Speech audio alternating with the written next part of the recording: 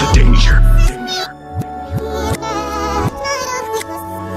Yeah, I've been on that same shit. Started out in basements. So much in my head, it's kinda difficult to say shit. I be making moves, ain't got no time to be complacent. Cause now I got them zoning please protect this. Had to go through hell so I can realize the greatness. Knew that this was coming, I just had to be more patient.